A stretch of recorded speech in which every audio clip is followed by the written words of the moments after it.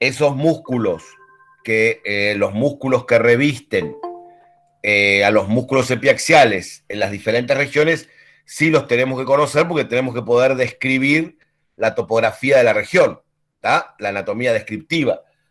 Pero no los estudiamos porque sean epiaxiales, son músculos que vamos a estudiar después cuando veamos músculos comunes, que están en la misma unidad, así que va, van juntos, digamos. ¿Está? Bueno. O sea, conocerlos, pero no estudiarlos por ahora. Y, ahora cuando empieces con miembro torácico los vas a tener que estudiar, así que lo mismo. Ah, bueno. Vas a tener que estudiar de vuelta el dorsal ancho, el trapecio, el romboides. ¿Ah? Sí. Así que da lo mismo que los leas antes o después. Igual tengo que leer las diferencias en, los, en las especies, ¿no? En el season. Yo estoy leyendo del season. La verdad que me costó mucho este tema de columna porque no sé cómo organizarme bien. No, lee, mira, si lees el modelo equino vas a ver que después el resto de las especies no presentan grandes diferencias. Estuvimos viendo un poquito qué es lo que había que comparar y vimos, ¿no? Que fundamentalmente sí, el tema de, em, de ligamento nucal, eh, por ejemplo, eso hay que tenerlo bien en claro pero después el resto no hace falta. Y dentro de los músculos sí, eh, los que presentan grandes diferencias a nivel del cuello, eh, longuísimos de la cabeza, longuísimos del atlas, el esplenio, Pero mm, yo te diría que leas el modelo equino, sobre todo, y después lo compares con, si querés, con el modelo canino. Pero ah. básicamente, ya repito, el modelo equino te alcanza y después con el modelo canino tenés las, las grandes diferencias con carnívoro porque entre equino y bovino casi no hay diferencias. Ah, Excepto, por ejemplo, el ligamento nucal. ¿Eh? Traten de seguir lo que se ve en lo que tenemos en, los Power y lo que veníamos charlando en todas las clases que tuvimos, que fuimos teniendo. ¿Sí? No, no, no, no desesperen por leer todo, porque si no se van a volver locos, porque es mucha cantidad. Por eso, repito, eh, para musculatura epiaxial encaran el modelo equino, que es el que, el que usamos siempre para explicar todo, y si lo quieren ver comparado, más que nada contra perro, contra canino. ¿De acuerdo? Sí, profe, listo. Me facilitó un poco más el estudio, porque si no me, iba a matar. No, sí, tranqui, tranqui. Profe, una pregunta. El Teres, o sea, Teres minor, creo que se pronuncia así, ¿sería el redondo menor? Sí, teres, teres minor, en latín teres minor y teres mayor son redondo menor y redondo mayor. Ah, gracias. Hola, profe. Vicky, ¿cómo le va? Bien, ¿vos cómo estás? Todo bien. Te quería preguntar, es de miembro torácico igual, pero como que me quedaron un par de dudas y... Sí, sí. Viste que... La idea de este es, es aclarar bien, bien todas las dudas para ya empezar torácico eh, cerrar, cerrar columna y empezar torácico sin dudas. Dale. Sí, todo lo que es fascias, planos y eso lo vamos a ver en una clase, supongo. De sí, sí, tenemos una, una, clase entera planeada para armar lo que sería el miembro torácico. Ah, buenísimo, listo. Y te quería preguntar, viste que el cerrato ventral forma con los pectorales el sostén de lo que es el miembro torácico entre las dos escápulas. Sí. Eh, ¿Con qué, con cuáles lo forma? ¿Con los pectorales superficiales o con los profundos? ¿O con ambos? Todo. El, cinturón torácico, es decir, la, lo que se llama la sinsarcosis torácica, la unión del miembro torácico al tronco, la van a conformar lo que conocemos como músculos comunes, em, que son músculos que se originan en el, en el miembro y se insertan en el tronco o al revés, porque dependen algunos, eh, embriológicamente algunos se originan en el tronco y van a insertarse al miembro, y en cambio hay otros que se originan en el miembro y van a insertarse al tronco. No hace falta entrar en esa disquisición. Eh, en anatomía los reconocemos por quién los inerva, si los inervan nervios del plexo braquial o nervios de la columna, nervios espinales, pero, pero, pero, eh, sí saber cuáles son esos músculos comunes. Básicamente esos músculos comunes tenemos los que van a la escápula, ¿sí? Trapecio, romboides y cerrato, ¿sí? Sí. Los que van al húmero, ¿sí? Que son en este caso eh, la gran masa de los pectorales y el dorsal ancho. ¿Sí? Sí. Y los que van a la fascia del hombro y del húmero hacia craneal, que son el homo transverso y el brachiocefálico. Sí. Eh, la pregunta importante es, ¿cuáles son los que efectivamente están uniendo el miembro al tronco? Los que van a la escápula. Trapecio, romboides y cerrato. ¿Sí? Ok. ¿De acuerdo? Sí, sí. Los otros, como van al húmero y tienen acción sobre la articulación del hombro, sí. la fijación que hacen sobre el miembro es más relativa, es decir, dorsal ancho, pectorales, homotransverso y brachiocefálico, eh, tienen una acción más relativa como músculos del cinturón, como músculos de los que unen, pero bueno, también son músculos comunes. O sea, los de la, la sinsarcosis serían más que nada los que van a la escápula. En sentido estricto, en sentido estricto los que van a la escápula. Trapecio, romboides y cerrato. Genial. Y después te quería preguntar, cuando dice línea curvada y cresta del húmero, ¿dónde estaría más o menos? Porque en el húmero. En el húmero. Pero son... Y tienen que leer los accidentes del húmero. El húmero. Claro, pero ponete la em, tuberosidad deltoides como para ubicarme en algún lugar. Claro, la tuberosidad deltoidea está en lateral, ¿sí? Sí, sí, eso sí. Eh, y de la tuberosidad deltoidea, eh, vos vas a. Hay una superficie en el húmero, una línea, la línea arcuata, o línea, la traducción es línea curvada, pero el término, corre, el término latín es línea arcuata. Sí. Es una línea que recorre el húmero siguiendo la, superficie que marca un músculo que hay sobre él, Sí. Em, que se llama, eh, marcando lo que se llama el surco espiral del húmero, ¿sí? Ok. Que es por donde va el músculo braquial, después lo van a estudiar el músculo braquial cuando vean brazo. Es por donde, o sea, sigue la línea, digamos, de lo que es la tuberosidad deltoides. claro, de una línea que desciende desde la tuberosidad deltoides sobre la cara lateral del húmero. Ah, ya me ubiqué. Y la última que tengo, que es como para con los accidentes socios estar, cuando dice que se inserta un músculo de la región de la espalda en el tubérculo mayor eh, y, o en el tubérculo menor, pero no aclara si es craneal o caudal, ¿es porque se insertan los dos o...? No, eh, depende de qué lado venga, va a ir a ese lado, porque no va a cruzar todo. ¿Cuál, ¿De cuál estás hablando? Eh, ya te digo cuál era, porque había uno que no lo aclaraba y como que me quedé pensando... La inserción de los tubérculos es así. El supraespinoso, el supraespinoso va a la parte craneal de los dos tubérculos, del mayor y del menor, porque se abre, se abre en dos colas de inserción, una a craneal del tubérculo mayor y la otra craneal del tubérculo menor. Sí. Ese es el supraespinoso. El infraespinoso va a caudal del tubérculo mayor. Y el subescapular y el subescapular va a caudal del tubérculo menor. Ok. Eso es muy importante, eso que preguntó Vicky, ¿eh?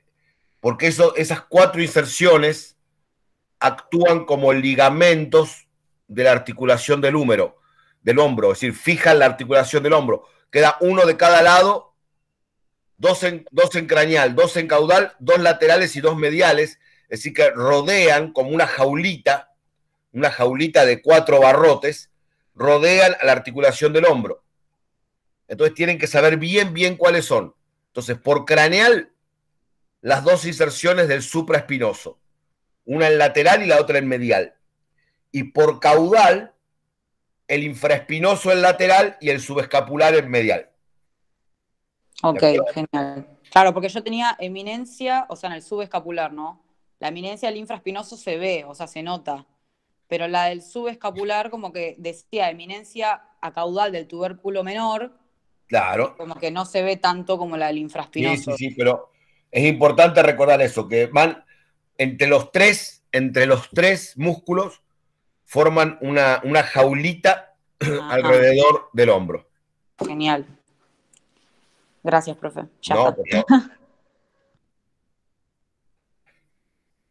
¿Qué más? Vamos. Si no, repasamos un poquito los músculos comunes si no hay preguntas, me pongo a hablar un rato, porque si no me, aburro. Sí, profe. Bien, columna cerramos bien todo. Columna no quedaron dudas. Bueno, bueno, a ver, Eh, aguántenme dos minutos. Me voy a buscar un traguito más de agua.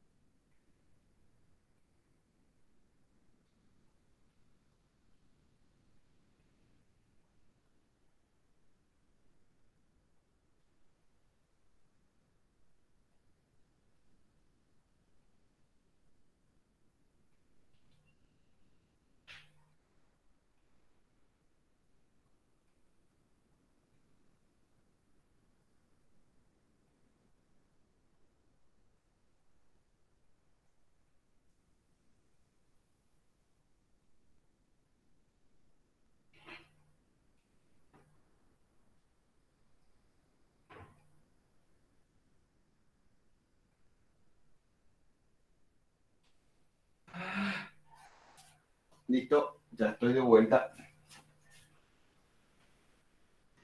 Hola, profe. Em, antes que empiece con músculos comunes, tenía una consulta sobre irrigación del canal vertebral. Sí, dígame. Em, no, en drenaje venoso hablan sobre dos plexos, que es el plexo venoso vertebral interno y el externo. Y no entiendo bien a dónde está el interno. El interno va por adentro. A ver, aguánteme un cachito. Sí, sí.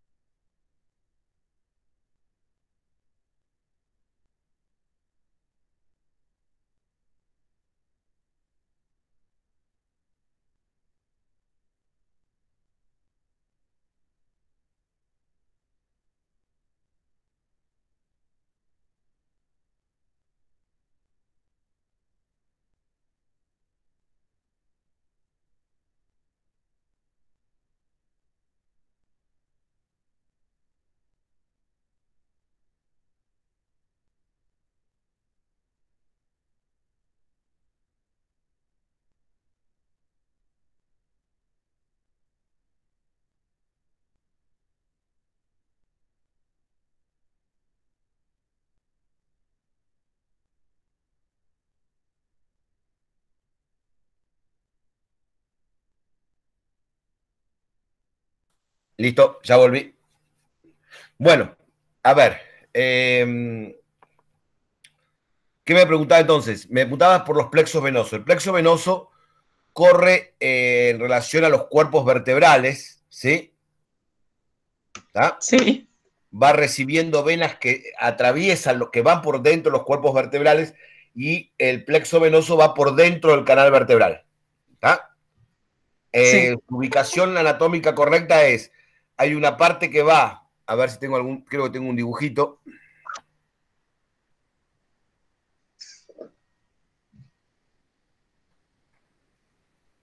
Eh, hay una parte que va por dentro del canal vertebral, cubierto por el ligamento longitudinal, ¿está? Cubierto por el ligamento longitudinal, y la otra parte va por dorsal de la médula espinal. ¿Mm? Ah, bueno. ¿Y el externo cuál sería? El externo es el que se forma por fuera de los cuerpos vertebrales. ¿Está? Ahora déjame ver si te lo puedo mostrar acá. A ver si lo tengo acá. No, acá no está.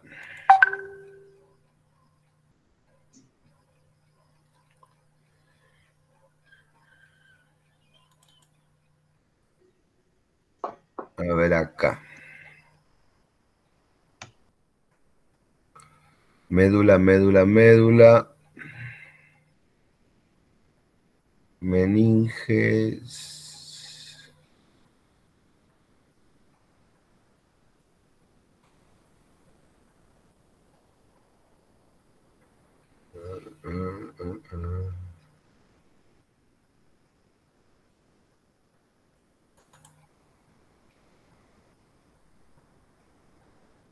A ver si está acá.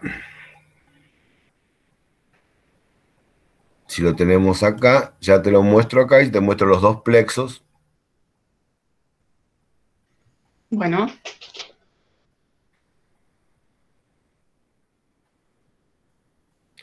Si no, hay una buena foto en la nómina. A ver, acá.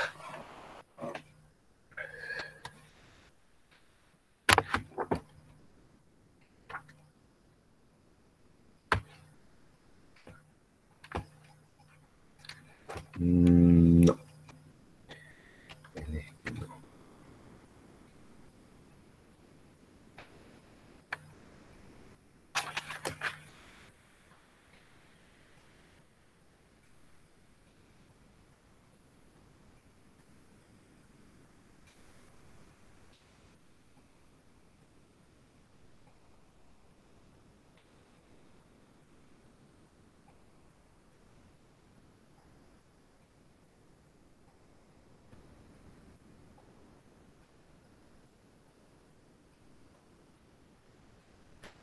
Ah, no, tenemos ningún dibujito lindo, che. A ver si tengo uno en la nómina.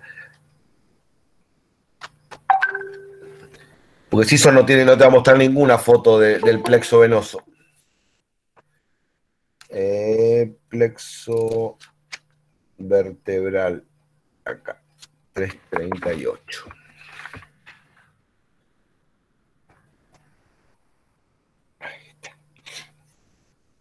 Profe. Sí.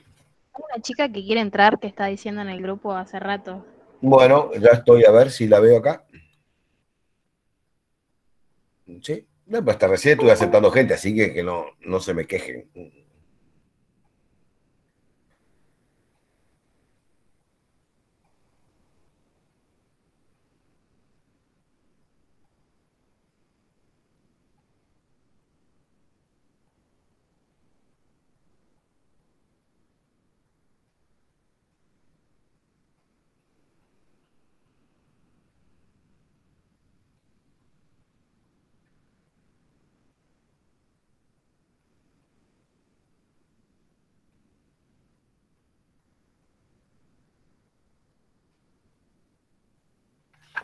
A ver, déjame ver si te lo puedo explicar con un dibujito, ¿sí? Preferimos, ¿sí? Así no, no hacemos lío, ¿sí?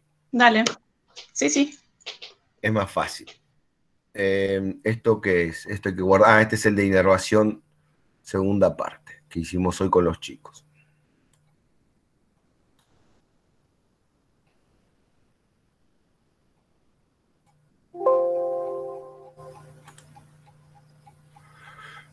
Ahora borramos esto.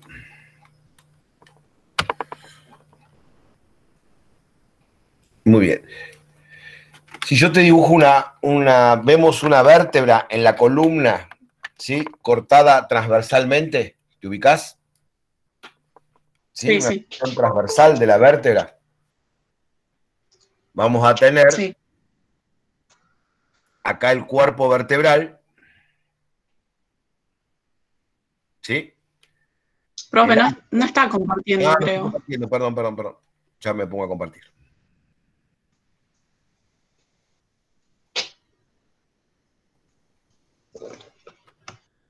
El cuerpo vertebral, el arco,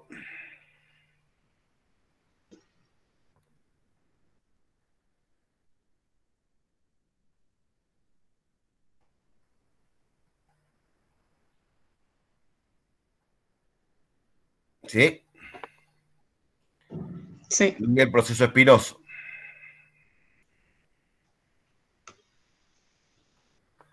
Supongamos que estamos dibujando una vértebra transversa, ¿sí? Le vamos a poner acá. No, vamos a dibujar una vértebra torácica. Entonces ponemos un proceso transverso chiquito, la cabeza de la costilla, el tubérculo y la parte horizontal de la costilla que le corresponde.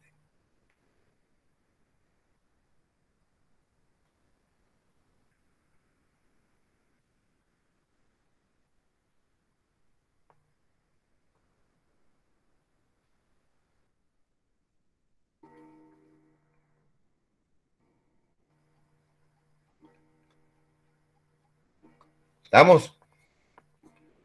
Bien. Si este es el cuerpo, acá podríamos dibujar cortadito.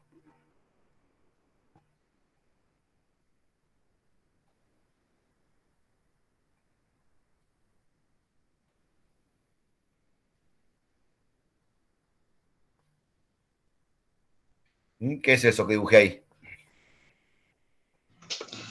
Em, la médula. No, en el cuerpo. Ah, en el cuerpo. Que corté ahí, entre dos vértebras. ¿Qué es esto? Que tiene un núcleo. El disco. Eso es el disco, perfecto. ¿Ah? Bien. ¿Qué ligamento pondríamos acá?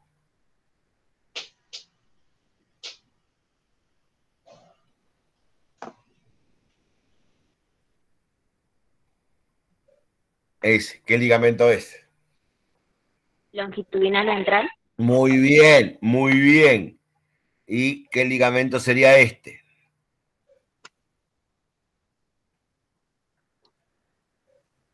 Longitudinal dorsal. Muy bien, longitudinal dorsal. Perfecto, perfecto. Bien. Ahora sí, podemos dibujar, si quieren, ¿eh? la médula espinal. La vamos a dibujar en amarillito, porque siempre en anatomía los nervios se dibujan en amarillito.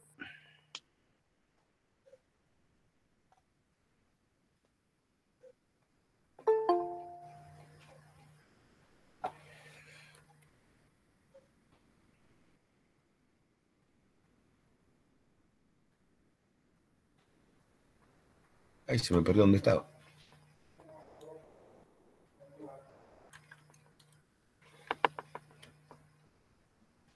Alguien quiere entrar.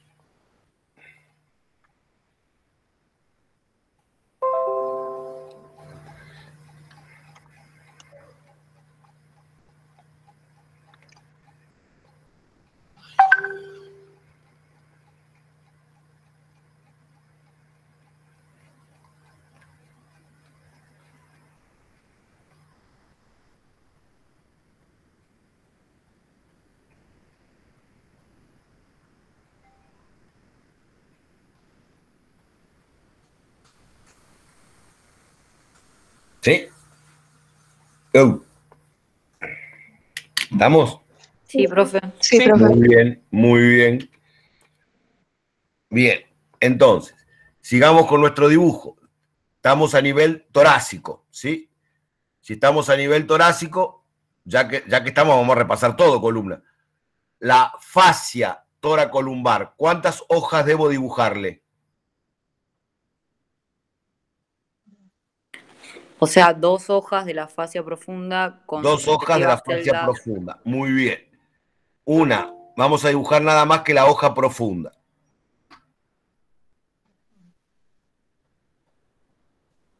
Termina acá dando origen a un musculito. ¿A qué musculito da origen la hoja profunda de la fascia toracolumbar? El cerrato dorsal. Muy bien, lo dibujamos ahí. Cerrato dorsal.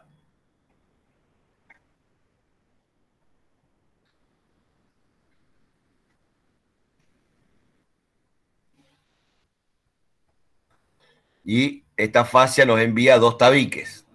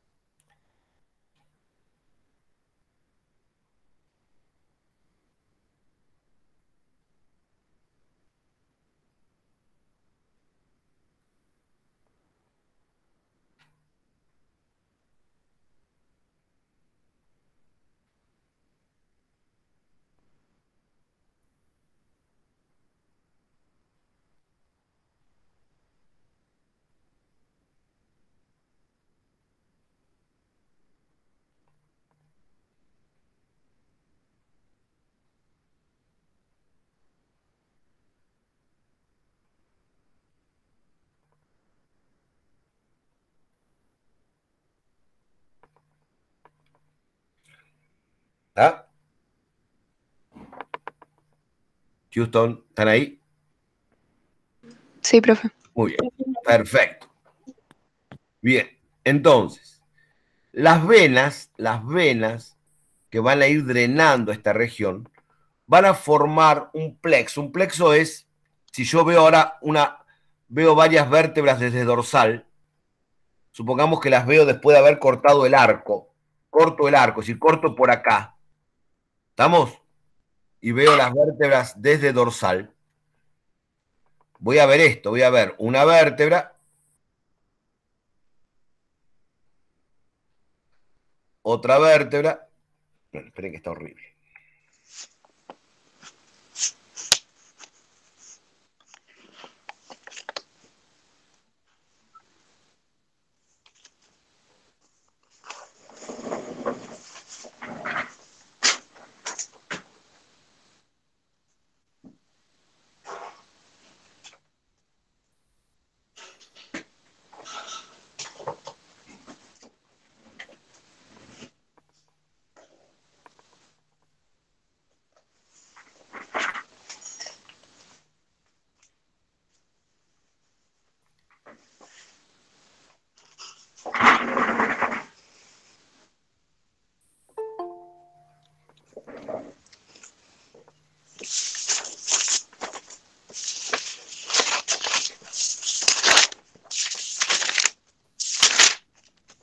Que hay un mic prendido. Sí. Elenita, ¿cómo andás? No, estoy en clase, te llamo en, 10, en 15 minutos. Dale, dale, ahora te llamo. Listo, chao, chao. Era chavaleta. Bien. Eh,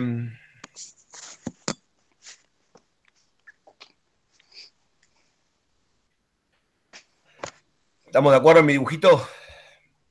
Me faltaría dibujar el ligamento.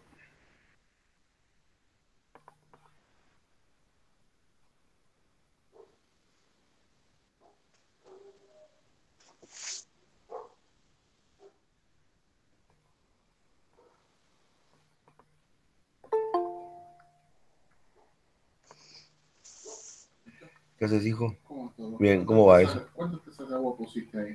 Ahí puse tres tazas y media, así que eso es para hacer una taza grande de café, de, de, de, de arroz.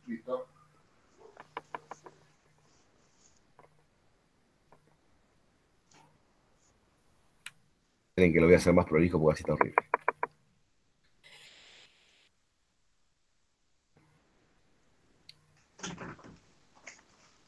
Sí, dos más. Tres.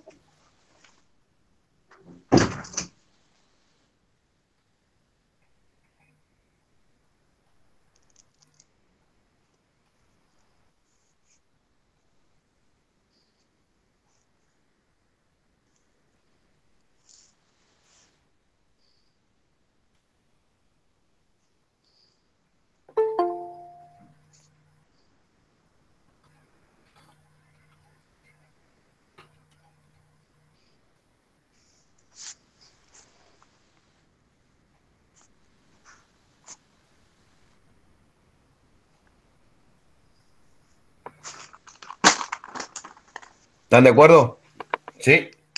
Sí, profe. En este dibujito que eh, saqué el canal, saqué el, corté el, canal, el techo del canal vertebral, saqué la médula y estoy viendo el ligamento longitudinal dorsal desde dorsal. Bueno, voy a tener las venas, van a correr a lo largo de la columna vertebral. ¿Sí? Va a haber una vena en cada espacio intercostal que se llaman venas intervertebrales. La 8 y cada vena intervertebral se va a comunicar, esperen, con la anterior y la posterior por una pequeña rama comunicante.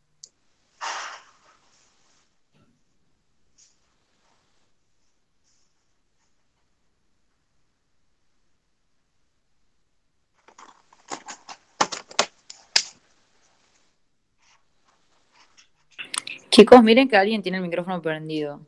Sí. Un día vamos a escuchar asesinar a alguien por acá y vamos a ver a quién mataron. Bien. ¿Estamos? Estas se llaman venas intervertebrales. que están a la altura de cada espacio intervertebral.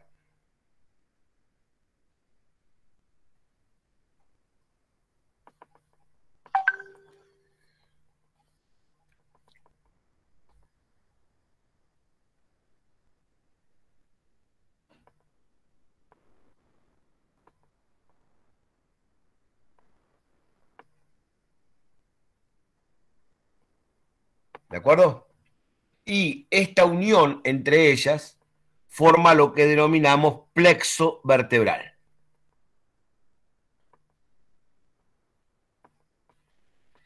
Profe, dijo a la altura de. ¿Cómo? Espere, espere, espere. Y esta unión se produce a tres niveles de la vértebra, es decir, si la vena intervertebral ahora la veo de, desde en un corte transversal, la voy a ver a esta altura.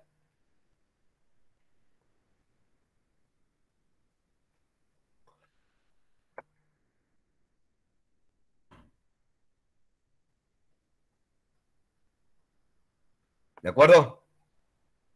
¿Sí o no? Muy bien. Y este plexo voy a tener uno a este nivel, otro a este nivel, que se comunica con unas venas finitas con esta de acá, y que drena los músculos epiaxiales, y otro a este nivel,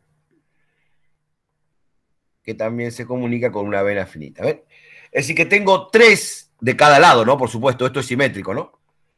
Tengo tres plexos venosos, que era lo que hoy la compañera nos preguntaba. Tengo un plexo,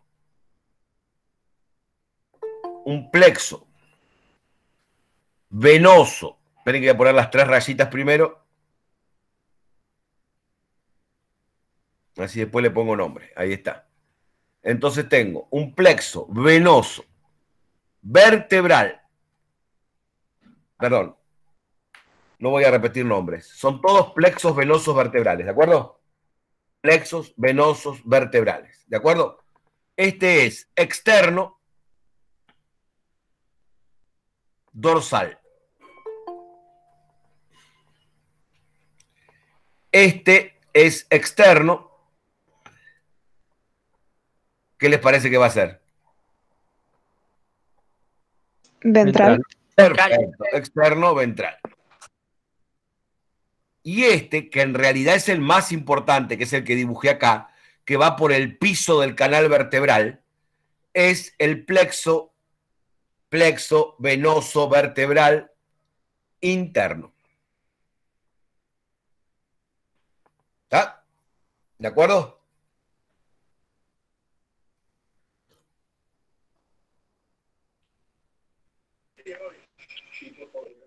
¿Sí? ¿Solo se llama, solo se llama interno o es interno, mediano? no hay otra cosa, no hay otro. ¿Está?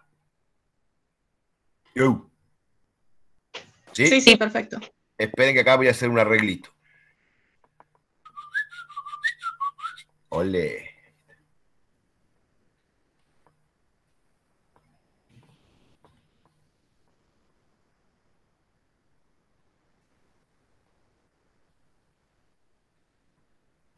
Y esta vena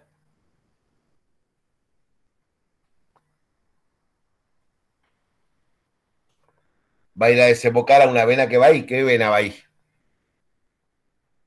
¿Qué vena recibe a las intervertebrales?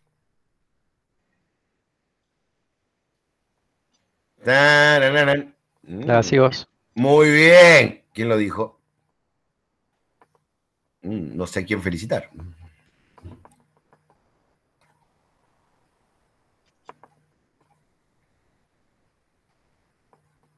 Que provienen de la vena cava craneal, ¿no?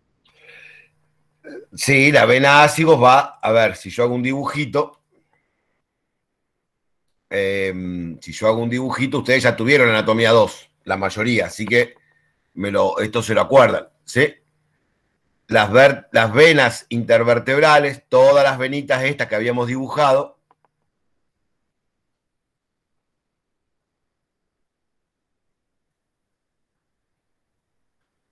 van a desembocar en una vena más grande que es la ácidos.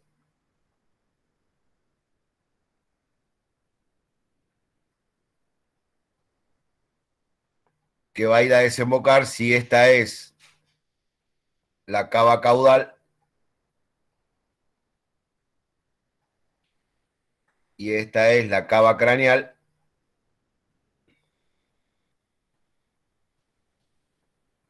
Va a ir a desembocar acá.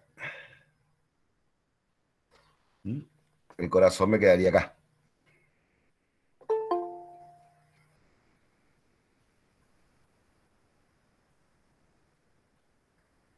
¿Mm? ¿Ah?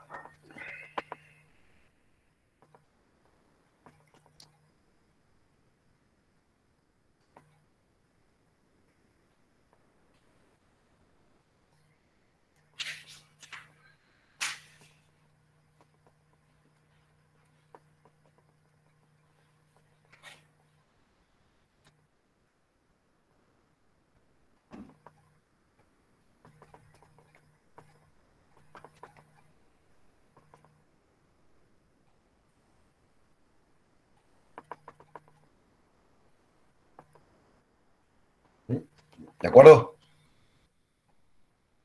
¿Sí? Sí, sí. Vamos a ponerle nombre a los músculos acá para que ya nos quede completito este dibujo.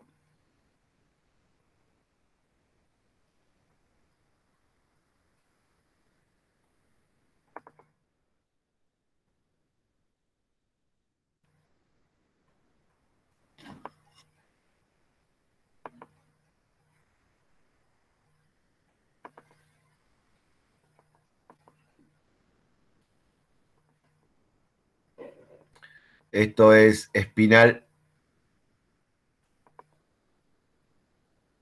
y semiespinal.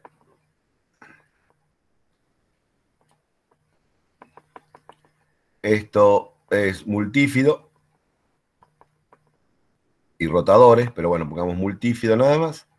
Esto es longísimos. Esto es costal. Y esto es cerrato dorsal.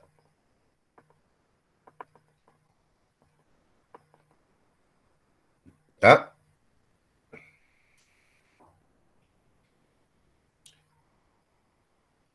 Profe, creo que hay gente tocando timbre. A ver, veamos si es verdad. Es verdad. Ahí está.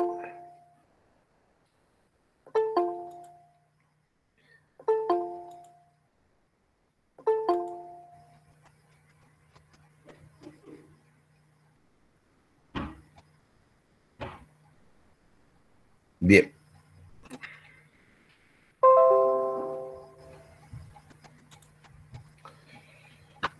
¿Estamos de acuerdo? ¿Sí? Sí, profe. Muy bien. Este dibujito se los mando al...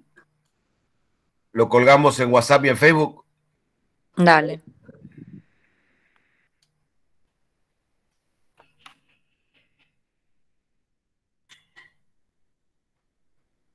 Profe, ¿sigue con musculatura epiaxial? Ahora vemos, ahora vemos. Espera un poquito. Eh, anatomía 1.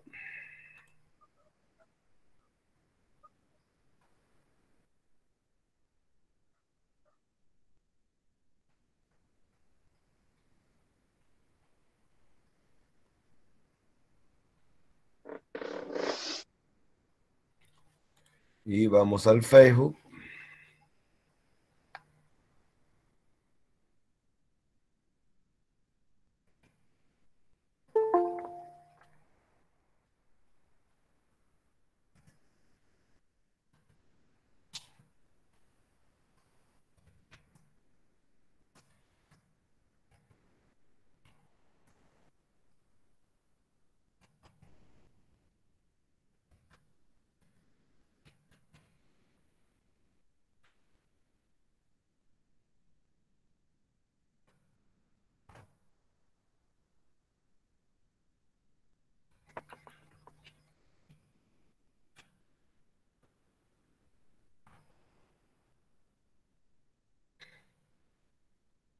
Listo. Esperen a ver que se publique porque a veces.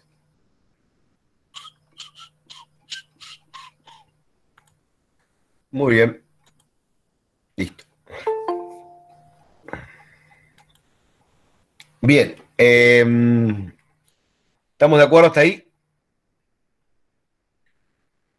Sí, ¿Y qué otra duda teníamos de columna? Si ya cerramos columna. ¿Nada más?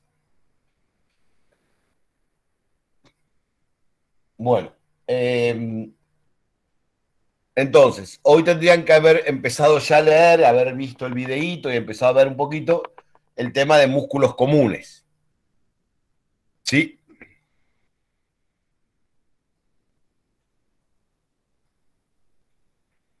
Profe, yo tengo una duda de. Sí. Pero es de la articulación del hombro. Bueno, entonces ya estamos bien, estamos en el tema. ¿El ligamento transverso está solamente ausente en el equino? No, el ligamento transverso está presente en carnívoros, no es que está ausente en equino. Ah, bueno, bueno, listo. La excepción es que está en el perro, ¿sí? Sí, listo, gracias. Igualmente, repito, repito. Son muy importantes esos ligamentitos que se mencionan en la articulación del hombro. ¿O pensamos que no hay ligamentos importantes y que el único ligamento importante es la cápsula fibrosa de la articulación y que el único medio de fijación importante son las inserciones de esos músculos que hablábamos hoy que forman como una jaulita alrededor del hombro. ¿Qué les parece? ¿A ustedes les parece que con la fuerza y el peso que soporta el hombro del equino, los glenohumerales pueden hacer algo?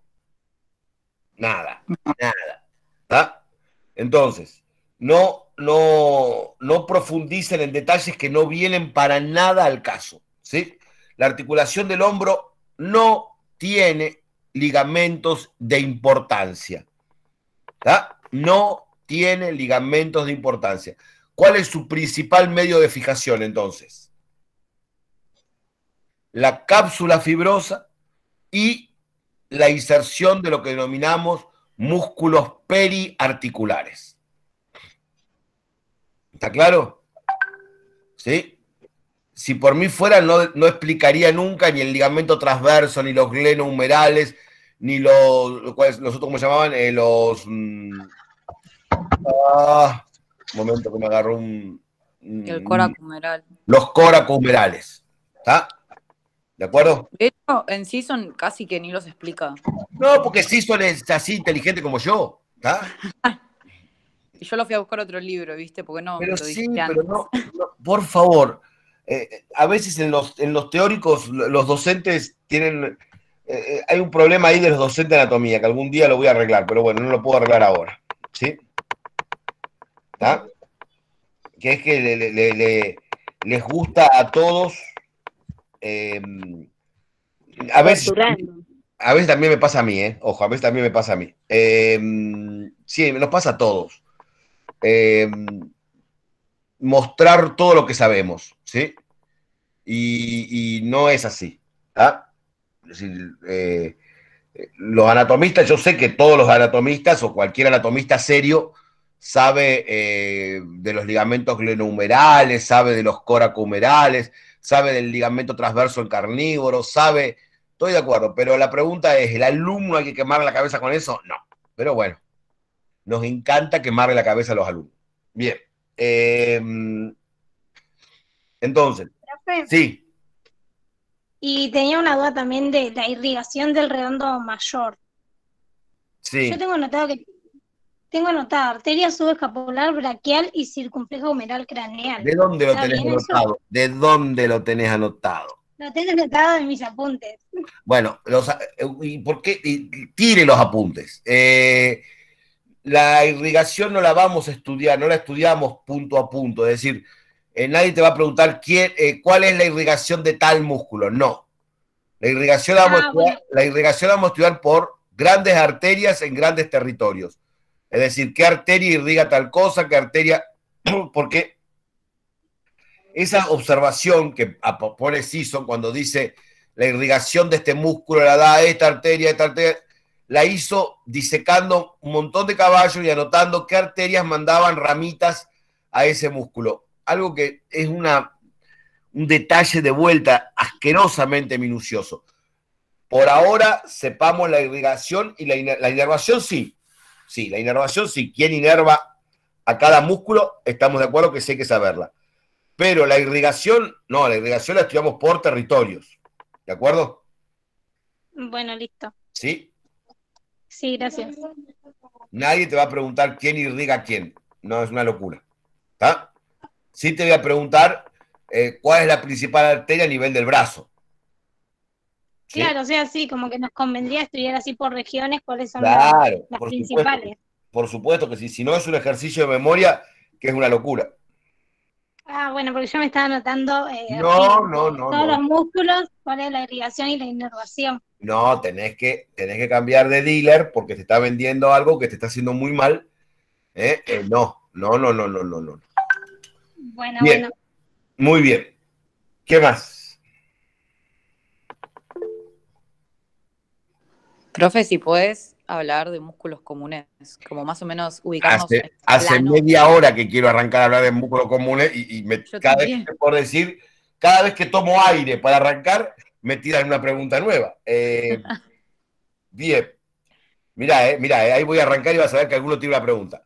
Voy a hablar, no, dale, en serio. voy a hablar de músculos comunes. sí, Camila.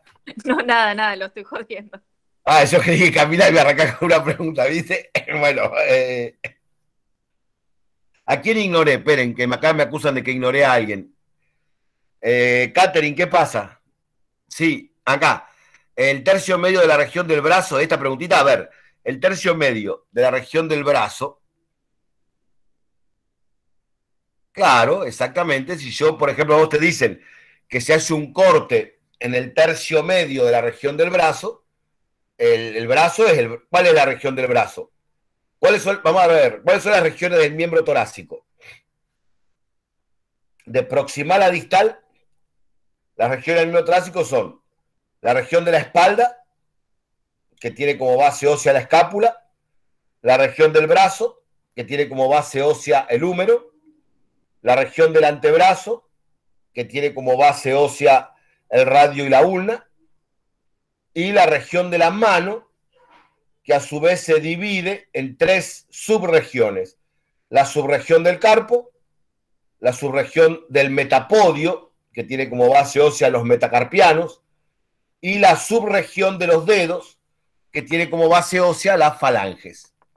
Entonces, si a vos te dicen eh, el tercio medio del brazo, bueno, el tercio medio del brazo es eh, la parte eh, media la parte media de la región del brazo y la base ósea de ese brazo es el antebrazo. ¿Está? ¿Me repite eso, por favor? Claro. ¿Cuál sería el tercio medio del brazo? ¿De, qué se marea? Hágalo, a ver, piénselo con su cuerpito. ¿Sí?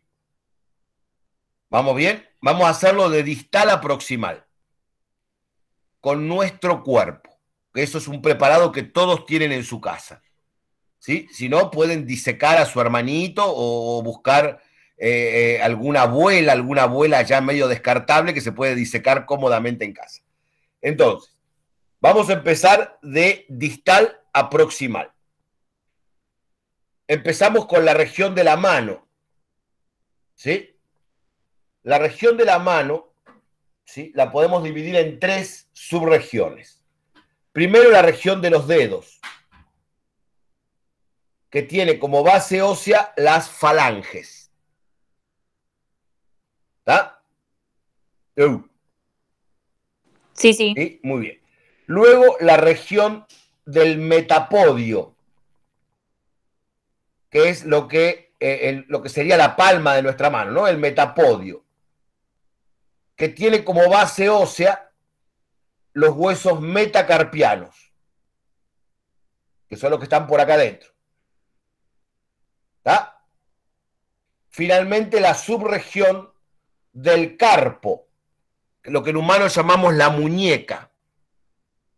¿Sí? Esta, ¿eh? la subregión del carpo. ¿Mm? Muy bien. Luego viene la región del antebrazo, que mucha gente le dice brazo y está mal. ¿Sí? Esta parte de acá ¿sí? ¿Sí? Es el antebrazo. ¿De acuerdo? Que tiene como base ósea el radio y la ulna. Dos huesos. Dos huesos largos. El radio y la ulna. ¿Está? Sí, sí. Sí, profe. Muy bien. Luego viene la región del brazo. El brazo, donde está el bíceps y el tríceps. ¿Eh? El brazo. Que tiene como base ósea el húmero.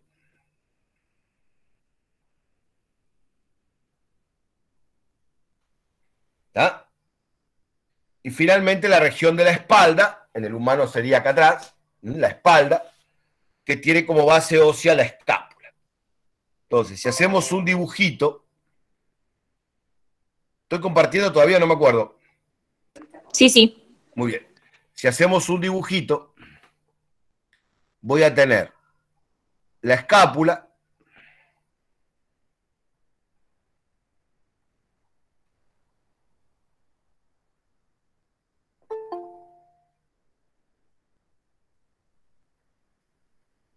con su cartílago.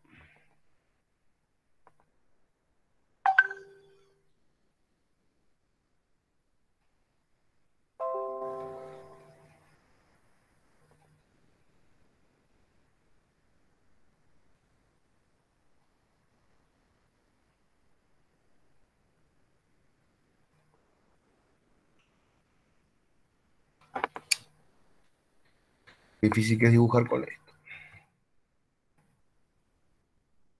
¿Qué pasó con la pizarra, profe? La tengo colgada, pero mm, me da fiaca usarla porque tengo que poner el trípode en un teléfono. Al revés, el teléfono en un trípode. Ya la voy a hacer, ya la voy a hacer. Aguántenme unos días que voy a tener todo listo. Yo por la comodidad del dibujar. Sí, sí. soy muy espástico dibujando con la en la tablet.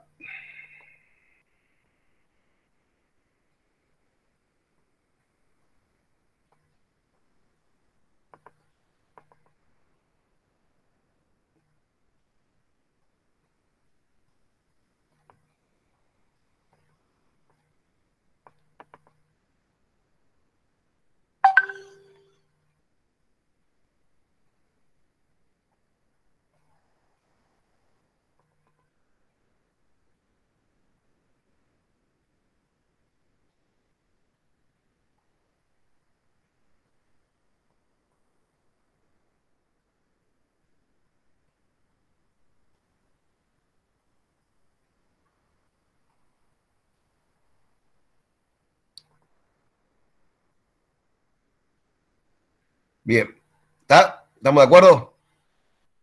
Entonces, esta región es la región de la espalda.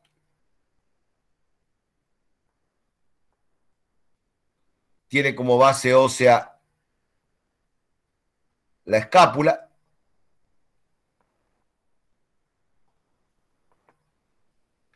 Esta es la región del brazo. Tiene como base ósea el húmero.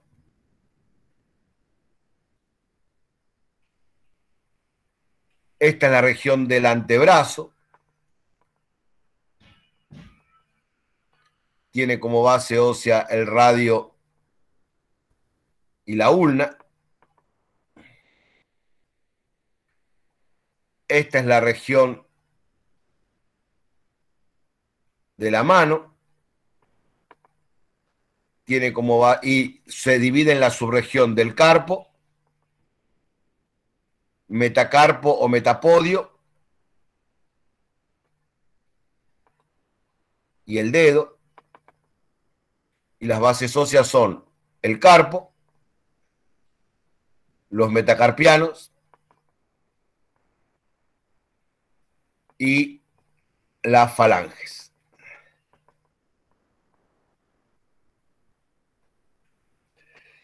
Por supuesto, entre cada región aparece una articulación entre la región de la espalda y el brazo, tenemos la articulación del hombro.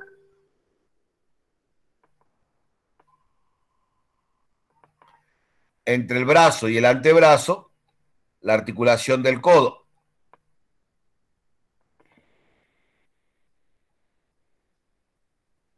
Entre el antebrazo y la mano, la articulación del carpo. Entre el metacarpo y los dedos, la articulación del nudo. Y dentro de los dedos tenemos dos articulaciones, la interfalángica proximal y la interfalángica distal. ¿Está? Entonces, ¿estamos de acuerdo hasta ahí? Sí, sí. Bien, entonces a mí, si a mí me dicen, por ejemplo, un corte, un corte que pase por el tercio distal del antebrazo. ¿Dónde estaría pasando un corte por el tercio distal del antebrazo? Un corte por el tercio distal del antebrazo debería estar pasando aproximadamente por acá.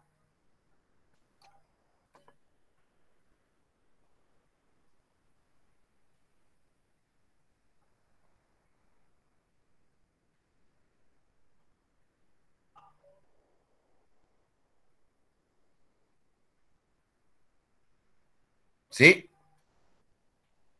¿Estamos de acuerdo o no? Sí, perfecto. Sí. Entonces, un corte que pase por el tercio distal del antebrazo, ¿a qué hueso se estaría cortando primero? Sin importar la especie, ¿eh? tírenmelo en general. A la ulna y al radio. A la ulna y al radio sería proximal a qué articulación? ¿A qué articulación? ¿En qué... ¿Cómo?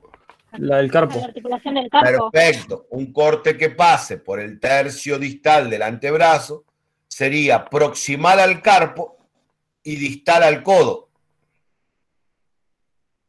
¿De acuerdo? ¿Está? Sí. Sí. creo que en la guía el, la, había una pregunta que hacía lo misma, la misma referencia con un corte que pasara por el tercio medio del brazo.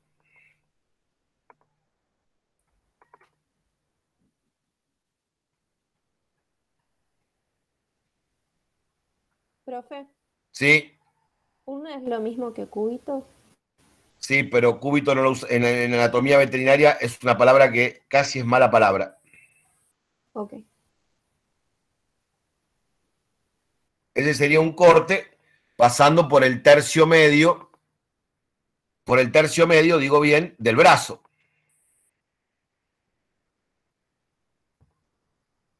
Y si está pasando por el tercio medio del brazo, primero, ¿a qué hueso corta? Al húmero. Al húmero. Al húmero. ¿Qué articulación le queda por proximal? Eh, la, la del hombro. La del hombro. ¿Y qué articulación le queda por distal? La del codo. Perfecto, señores. ¿Estamos de acuerdo? Sí. ¿Sí? Lo otro que ya tenemos que saber en es- para aprovechar este esquema es de cada una de estas articulaciones identificar sus caras flexoras. ¿Cuál es la cara flexora del hombro? El hombro flexiona hacia caudal. Entonces ya marcamos la cara flexora del hombro hacia caudal. ¿Cuál es la cara flexora del codo? La craneal. ¿Cuál es la cara flexora del carpo? Caudal. La, palma- la palmar, ¿no? En carpo ya decimos palmar. La palmar. Y la cara flexora de los dedos también es palmar, tanto la del nudo como la de la interfalángica proximal, como la de la interfalángica distal. Fíjense que fácil entonces acordarse, hay una sola articulación del miembro torácico que flexiona hacia craneal, ¿sí? que es el codo. Todas las demás flexionan hacia caudal y palmar. ¿Está? Sí, profe. Me alegro, me alegro, me alegro. Muy bien. ¿Este dibujito lo quieren o lo, lo, no, no lo borré. Quedó lindo. ¿Está? Bien. Después se lo, ya se los mando a. Lo descolgamos y lo mandamos al WhatsApp. Dale. Profe, ¿puede repetir para dónde flexionan? Eh, o sea, todas flexionan al caudal. Caudo palmar, sí, eh, excepto el codo que flexiona hacia dorsal. ¿Ah? Ahí le pusimos las flechitas. Vamos a ponerlo acá, lo mandamos al... Acá.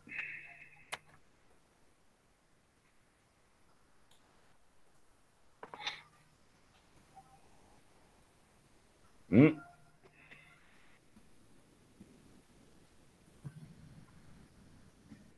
Bien.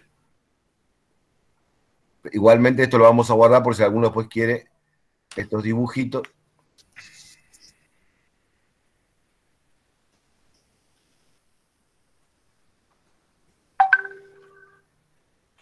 Em, esto es intro miembro torácico. No, espera, es eh, por un lado es plexo vertebral y generalidades torácicas. Muy bien. ¿Está? Y ahora sí vamos a hablar de los músculos comunes y ya terminamos porque si no me van a matar. Seleccionar todo, borrar. Bien.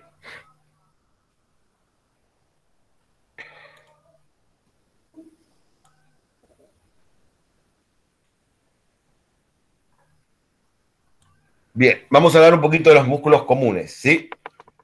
Eh, los músculos comunes em, son los que van a ir desde el miembro hacia el tronco o desde el tronco hacia el miembro, eso no hay una gran diferencia.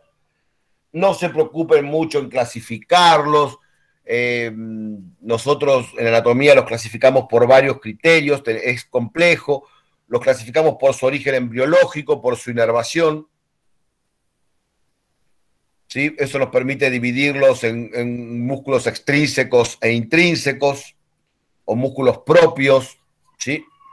Eh, también clasificamos de acuerdo a si están inervados por nervios espinales o están inervados por el plexo braquial. Realmente no es tan importante ese criterio. ¿sí? Eh, lo importante es, primero, primero, saber que están yendo del tronco al miembro o del miembro al tronco, me da lo mismo, eso depende de cómo se describan. ¿Está? ¿De acuerdo? Sí, profe. Sí, sí hay que tener muy en claro dónde se insertan. Los que se insertan en la escápula, ¿a ustedes qué funciones les parece que van a tener? Flexores. ¿Van a mover alguna articulación del miembro torácico si se insertan en la escápula? No. No, porque van del. ¿No serían flexores del hombro? ¿Cómo? ¿No serían flexores del hombro? Si van a la escápula, ¿cómo hacen para flexionar el hombro? Pensá, mirá, pensemos en un esquema general. Yo acá tengo el cuerpo del animal. Vení. Oh, no. Los de la escápula son de sustentación, ¿o no? Claro, yo acá tengo el cuerpo del animal, acá tengo la escápula.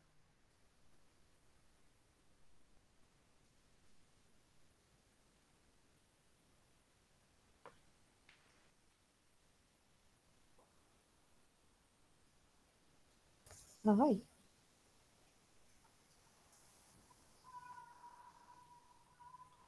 Acá está el húmero.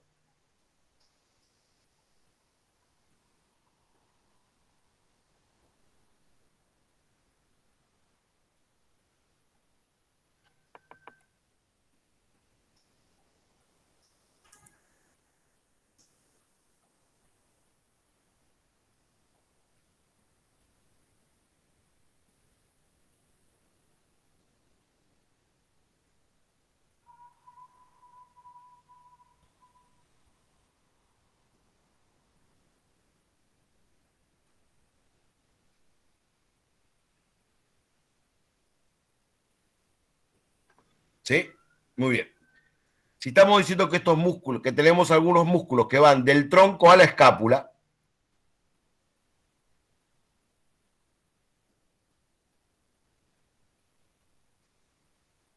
no pueden actuar nunca sobre el hombro, porque para actuar sobre el hombro habría que tratar de tirar del húmero, ¿sí o no? Sí, pero ¿no es como que tienen una acción secundaria sobre protraer y retraer la escápula? Sí, la escápula, pero no el hombro entonces. Sí, pueden mover la escápula con respecto al miembro.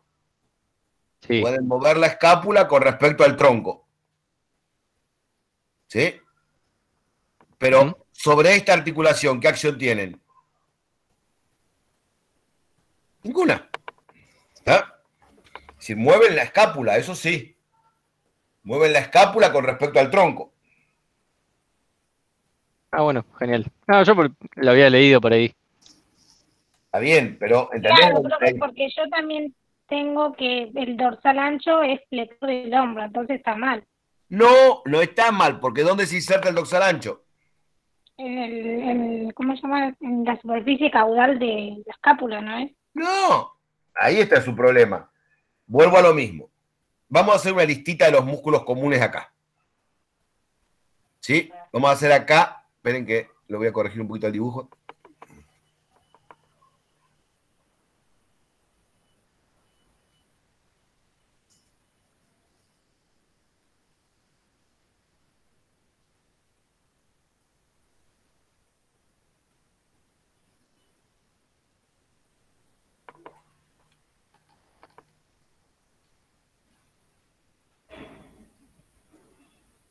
Ah, profe, sí, este, dije mal porque se inserta velocidad del redondo mayor del húmero. claro, claro, ahí, ahora sí, ve.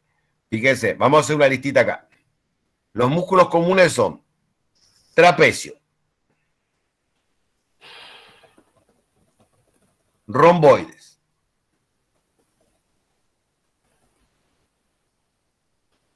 cerrato ventral,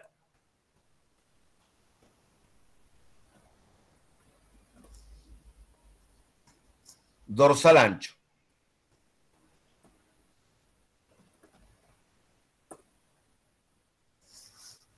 Pectorales.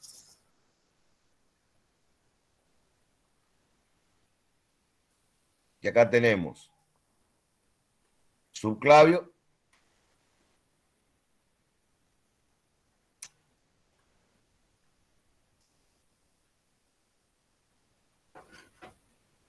Subclavio, eh, descendente, transverso. Y ascendente.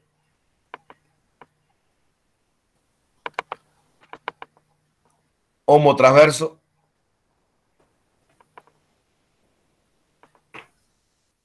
No. ¿No qué? perdón, era la gata. Como transverso y brachiocefálico.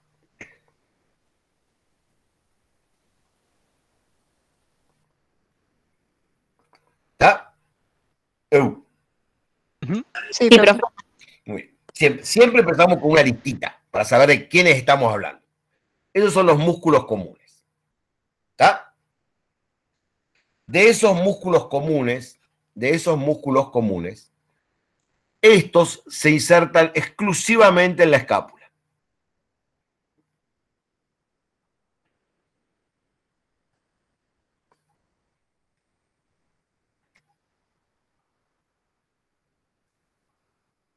Con lo cual, como discutíamos recién, ¿con quién discutía recién? ¿Con Martín? ¿Quién era el que, el que hablábamos de los movimientos? Con Martín. Eh, con lo cual, su acción se va a evidenciar en movimientos de la escápula, ¿sí? Es decir, levantar la escápula, llevar la escápula, pero más que nada, la acción más importante de estos músculos es soportar el peso del cuerpo ¿eh? o transmitir el peso del cuerpo hacia la escápula.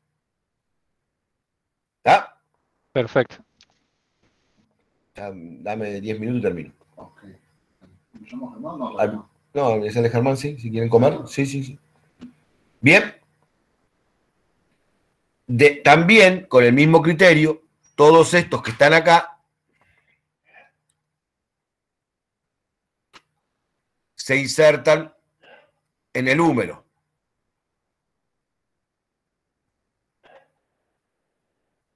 ¿Está? Y ahora sí viene lo importante. ¿Estos van a actuar sobre la articulación del hombro? Sí. Sí, sí. Entonces, el dorsal ancho es el, principal, es el más potente flexor del hombro y los pectorales son poderosísimos aductores y extensores del hombro. ¿Ah? ¿De acuerdo? Sí, profe. Y después nos quedan estos dos, homotransverso y brachiocefálico, que van básicamente a la fascia del hombro y brazo. Es decir, se fijan a este nivel. ¿Sí? Su acción principal, más que verse sobre el hombro o sobre el miembro torácico en general, se ve sobre la cabeza. Es decir, en realidad lo que hacen estos músculos es, desde el hombro tiran para accionar sobre el cuello y cabeza. Desde el hombro tiran para accionar sobre cuello y cabeza. ¿Sí? ¿De acuerdo? Justamente por eso a estos músculos, fíjense una cosa, cuando ustedes los vayan a leer, van a ver que a estos, trapecio, romboides y cerrato, los describimos yendo del tronco hacia la escápula. Si eso les va a decir, no sé, el trapecio se origina del ligamento supraespinoso y se inserta en la cara lateral de la escápula. El romboide se origina del ligamento supraespinoso y se inserta en la cara medial de la escápula y el cartílago escapular. Es decir, que estos que estamos acá en verde, siempre los vamos a describir yendo hacia la escápula. Lo mismo que estos que están aquí en rojo, cuando los leamos, en azul, perdón, marcados en azul, los vamos a describir yendo del, miembro, del tronco al miembro.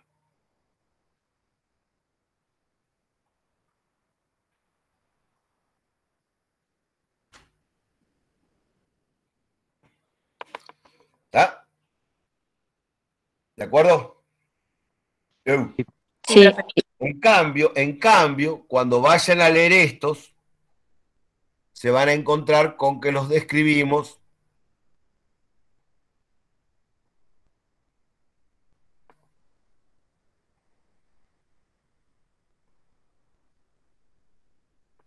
desde el miembro hacia cabeza y cuello.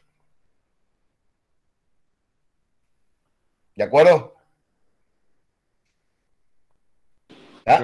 Sí. Porque su principal acción no va a estar sobre el miembro, sino que va a estar sobre cabeza y cuello. Es decir, cuando el brachiocefálico se contraiga, yo no voy a ver que el hombro se extiende. Cuando se contraiga el brachiocefálico, lo que voy a ver es que la cabeza desciende, flexiona el cuello. ¿Está? Sí. Profe, igual, sí. o sea, además en la fascia, ¿tienen inserción en accidentes óseos o no? porque la fascia, la fascia se fija accidentes óseos. O, sea, se fija junto a la fascia. claro, el, el, músculo va a la fascia, pero la fascia termina agarrándose del hueso. Ok, y la, y la parte cleidobraquial de. Espere, espere. Ese es el, Perdón. Todos estos los pueden leer solos, porque cualquier niñito estudiante de veterinaria puede leer esto sin hacerse lío, y si se hace lío, eh, deje la carrera. ¿Está? Eh, el único que, digamos, sí merece una explicación interesante es el brachiocefálico. En alguna de las guías les mandé unos dibujos de brachiocefálico comparado maravillosos eh, que son de níquel. Em, pero, pero, hay uno que se llama punte cuello, creo que se llama así, pero se los voy a explicar ahora, ¿está? Se los voy a explicar em, rápidamente. Tenemos, hay un músculo eh, propio del miembro, ¿sí?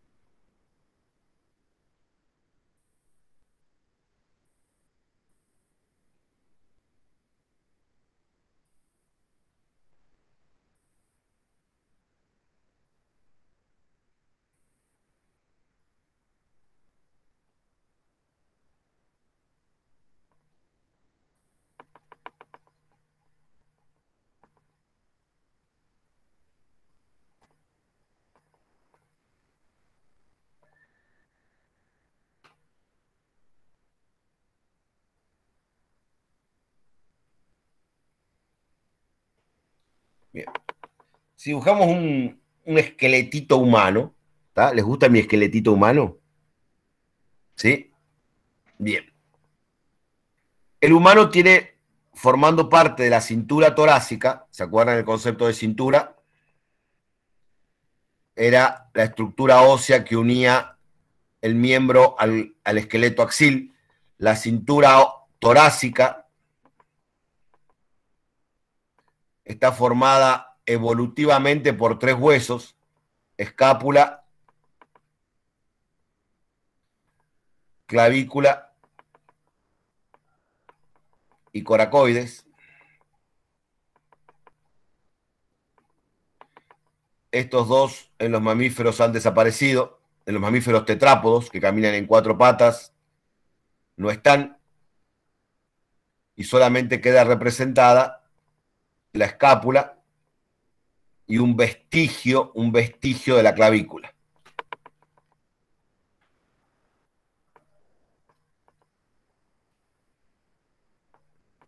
¿Sí?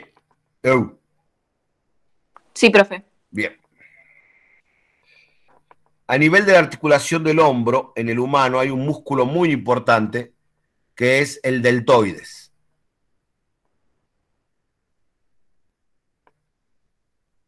¿sí? Que es el que forma todo el relieve del hombro en, ¿eh? en, la, articulación del hombro del humano. Ese deltoides tiene tres porciones. Una porción craneal,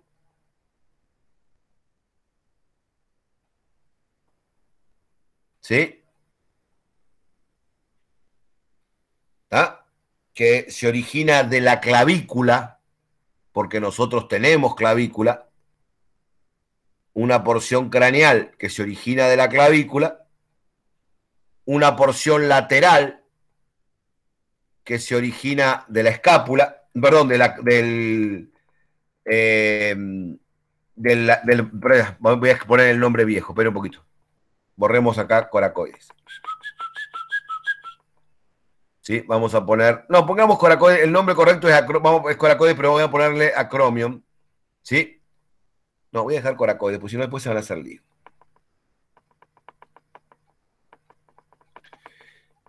Una porción que se origina del acromion, que es la porción acromial, y una porción que acá no la puedo dibujar en este dibujo porque estaría en la espalda nuestra, que es la porción caudal o escapular. ¿Está? Bien. Ahora, en el humano de la clavícula, entonces, acá tenemos un pedazo del deltoides, el deltoides clavicular. ¿Está? De la clavícula sale un músculo en el humano que va hacia la cabeza y cuello.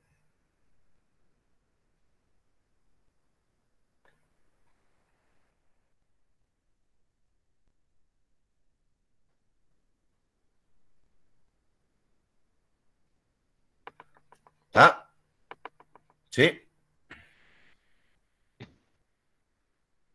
¿De acuerdo? Sí, profe. Ahí. Que no hay que confundirlo con el otro, que también va pegadito a ese, que es el trapecio.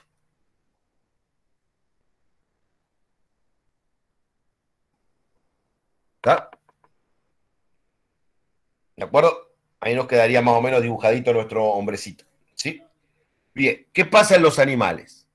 En los animales yo tengo, volvamos, pensemos en este dibujo, tengo la escápula,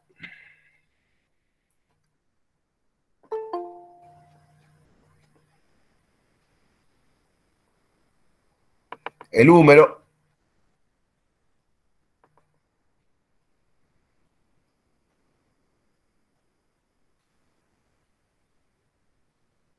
Acá estaría más o menos acá las vértebras torácicas, las vértebras cervicales. Y acá más o menos la cabeza.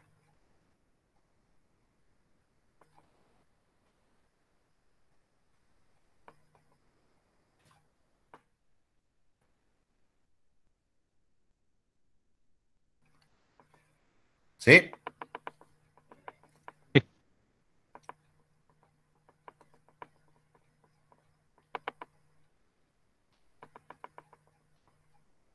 ¿Estamos?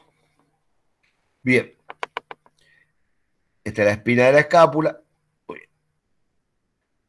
Hay un músculo, este músculo que acá está en violeta, que no les voy a decir el, nombre en humano, no, no, viene al caso. En el humano se llama esternocleidomastoideo, pero no importa, no importa no, le damos bola en veterinaria, tenemos el músculo brachiocefálico. Ese músculo brachiocefálico, lo primero que nos va a llamar la atención es que en el interior del músculo encontramos un vestigio de lo que era la clavícula. En equino y bovino es un cordón fibroso un cordón fibroso, como si fuera un tendoncito. En el perro suele estar osificado. A veces lo vemos en las placas radiográficas, aparece. Y en el gato está siempre osificado. Por eso decimos que el gato es el único que siempre, en el cual hay clavícula propiamente dicha.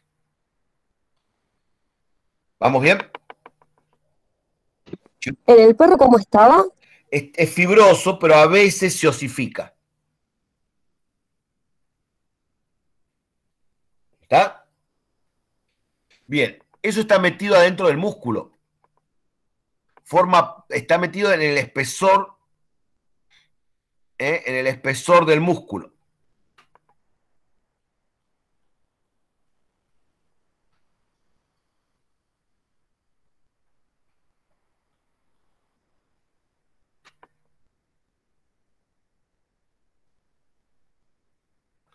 ¿Está? ¿De acuerdo?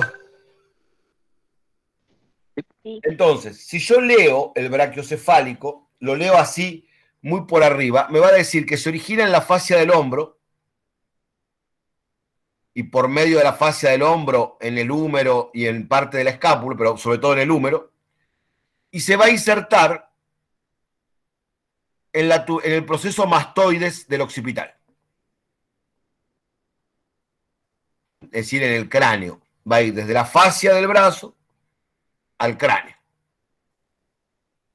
Por eso se llama, por eso se llama braquio. ¿eh? Braquio, por su origen en el brazo, braquio cefálico. Porque va del brazo a la cabeza.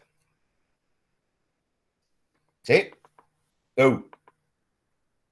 Sí, profe. Y en el medio, no en el medio, adentro, metidito, tiene ese vestigio de la clavícula.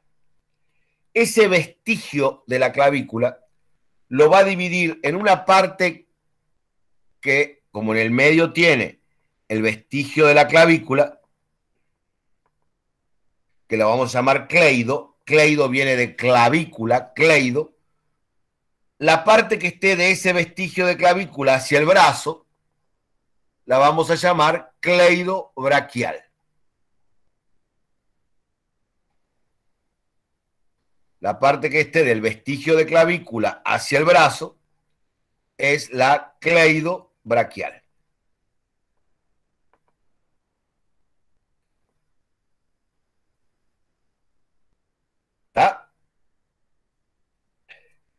Y la parte que esté del vestigio de clavícula hacia la cabeza, ¿qué nombre le pondrían?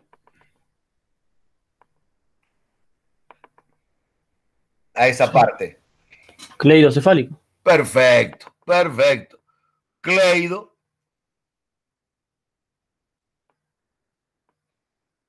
Cefálica. ¿Está? Facilísimo, ¿sí o no? Esto en el humano serían la porción cleidobraquial es la porción clavicular del deltoides, del humano. Y la porción cleidocefálica es el externo cleidomastoideo del humano. ¿Está?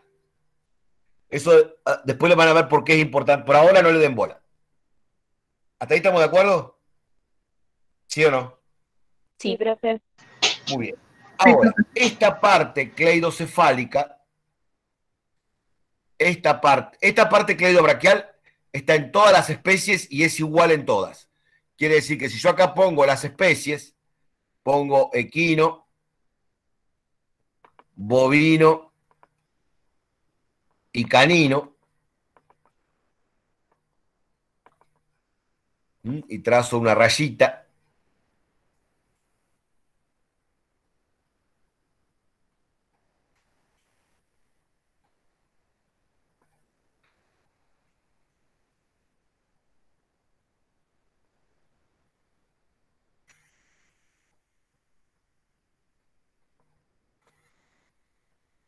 Esta porción cleidobraquial está en todas las especies.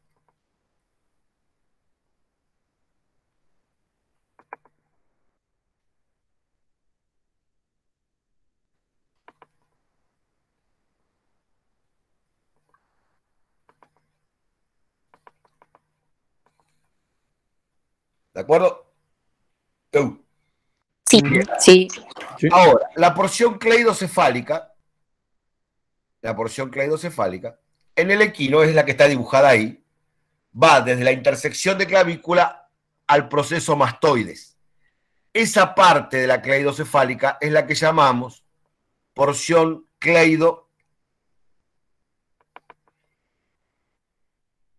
cleidomastoidea.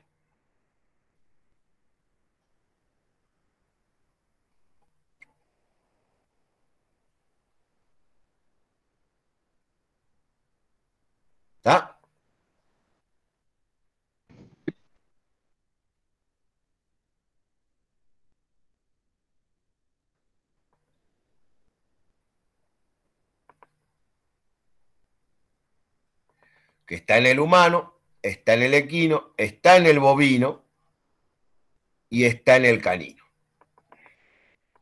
La porción cleido mastoide. ¿Está? Houston, sí, muy bien.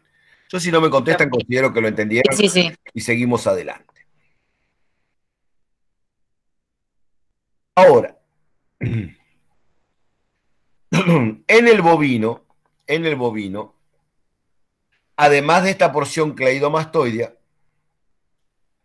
aparece una porción que se va a insertar en la cresta nucal. La cresta nucal sabemos que es el final del hueso occipital aquí. Quiere decir que en el bovino voy a tener otra porción que se inserta sobre la cresta nucal. A esa porción la vamos a llamar cleido occipital.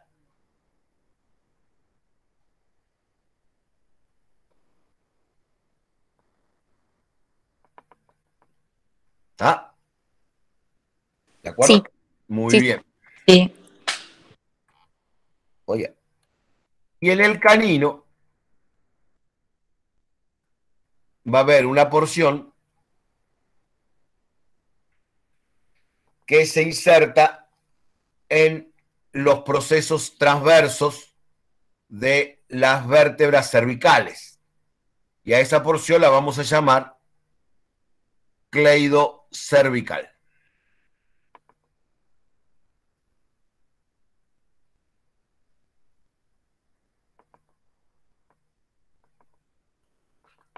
¿Está? Entonces, el brachiocefálico en el equino presenta dos porciones, la cleidobraquial y la cleidocefálica, y esa cleidocefálica representada por la cleidomastoidea. La cleidomastoidea está en el equino, en el bovino y en el perro. En el perro aparece a su vez la cleidocervical y en el bovino aparece la cleido-occipital. ¿Está? Houston. Sí, profe. Muy bien.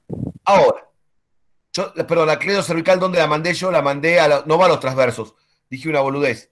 La cleido cervical va a, em, a la porción funicular del ligamento de la nuca. ¿Mm? Es bien superficial, cubre a todos los músculos del cuello. Va a la porción funicular del ligamento nucal. ¿Está? ¿Y el cleido occipital a dónde iba, profe? A la cresta nucal. ¿Sí? Profe, Sí. ¿puede repetir lo de occipital? ¿A dónde va? A la cresta nucal del bovino, ¿m? que es un reborde de hueso que se forma en la escama del hueso occipital. ¿m? En la parte caudal del cráneo. ¿Está? Sí, sí, lo había dicho bien. Ah, bueno. No, no, no. Ahora, hay otro musculito que habíamos nombrado acá, que era el homotransverso, ¿sí o no? Sí. Lo voy a dibujar, a ver, no me quedan muchos colores, lo voy a dibujar en este rosadito. El homotransverso se origina de la fascia del hombro y se inserta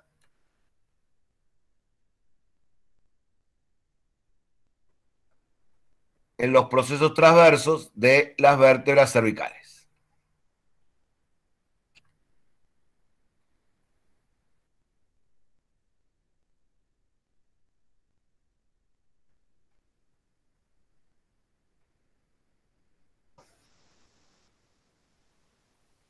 ¿Puede ser que haya dicho que el cerdo ce- cleido cervical se ubicaba ahí? Que ahí se confundió. ¿Cómo, cómo? El cleido cervical. Por eso, el cleido cervical del perro lo mandé a donde va el homotransverso. Claro, ok. ¿Está? ¿De acuerdo? Sí. Entonces, ese homotransverso que va de la fascia del hombro a los procesos transversos de las vértebras cervicales, en el equino se fusiona al braquio cefálico.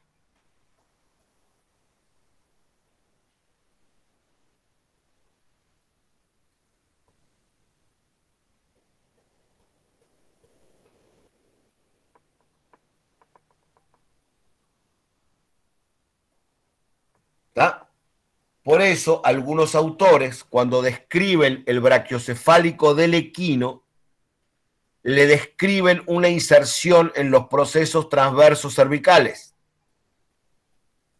¿Sí? Y uno dice, no, pero este autor se volvió loco, si me dijeron que no iba ahí el homotransverso.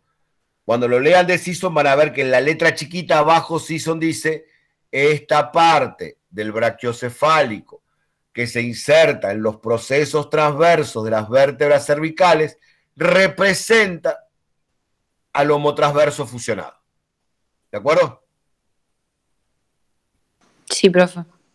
Muy bien. Muy bien. ¿Está? Sí, entonces el cleido eh, braquial tiene otra acción que el cleido cervical. El cleido braquial, su acción principal podríamos pensarla sobre el hombro, ¿tá? pero siempre y cuando esté fija la cabeza. Ok. Por eso, eh, ahora, ¿por qué es importante esta división? Porque el cleido braquial, el cleido braquial en todas las especies, está inervado por el nervio axilar.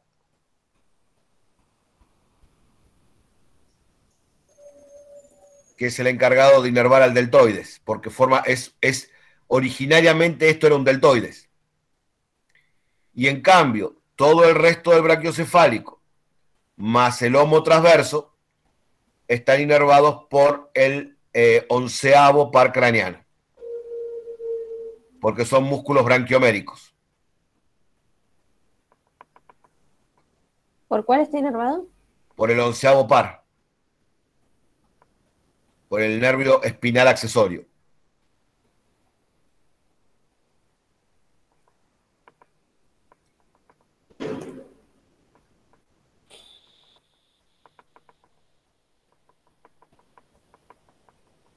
Y más algunas ramitas de los nervios cervicales.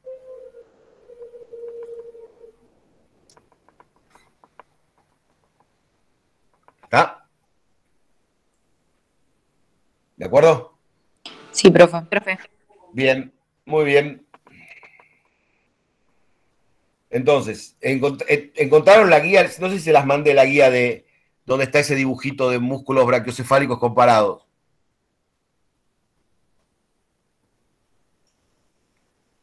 Que acá la tengo.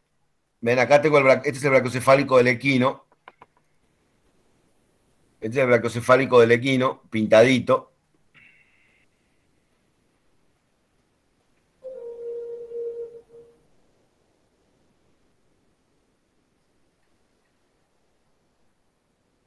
Profe. Sí. Tanto el nervio axilar como, o sea, toda la inervación de la región de la espalda vienen de los nervios espinales, ¿o no? Sí, sí, sí. Pero, pero, pero, espinales cérvico-torácicos del plexo braquial. Tienen que ver cuando vean plexo braquial. ¿Está? Sí, sí. Ah, porque los dio en el video el profesor, pero no son para este tema de ahora. ¿Cómo? ¿Son para este tema de ahora? Y van a tener que verlo. Cuando cierran un torácico lo pueden ver ahora o al final de torácico, pero tienen que verlo ahora, sí. Ahí se ve el brachiocefálico pintado, ¿ven? Sí. Con las dos porciones. En azul, lo que sería la porción cleidobraquial. Y en violeta, lo que sería la porción cleidocefálica. ¿Ah? ¿De acuerdo? Bien. Pero hay un dibujito más bonito, que es el que está escaneado. Creo que el Season tiene uno. Season tiene robado, Season tiene robado el de Nickel. El de Nickel es mucho mejor que el de Season porque tiene mejores detalles. Déjenme ver si lo encuentro en algún lado.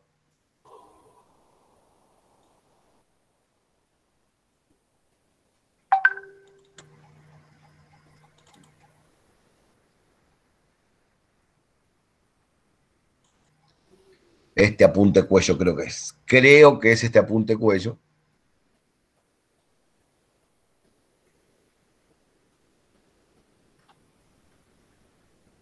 Mirá, mirá. Atajámelo. ¿Lo ven? ¿Se llega a ver ahí? Sí, profe. Mm, este es el de perro. Mm, este es el de perro, el de vaca y el de caballo. ¿Ah? ¿De acuerdo? Sí. Muy bien. Me alegro mucho que lo hayan visto. Ya lo tienen este subido, creo, así que lo tienen ahí en el aula virtual. Ok. Apunte cuello se llama. Listo. Bien. Bueno, voy a dejar de grabar.